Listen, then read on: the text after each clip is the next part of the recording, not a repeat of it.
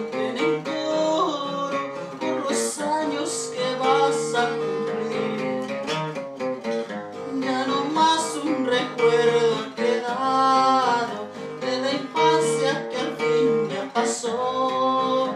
Celebremos este día venturoso por los años que vas a cumplir. Celebremos con